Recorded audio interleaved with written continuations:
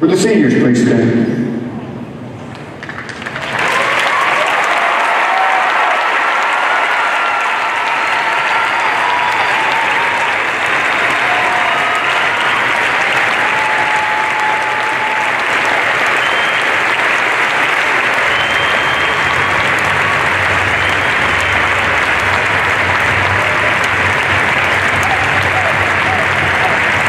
But we don't really say goodbye.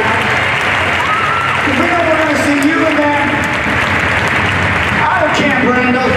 In the fall, we're going to have a good team, I think, again. We're back here for basketball and hockey, or maybe back here April 16th, 17th, and 18th, so we're going to start another decade.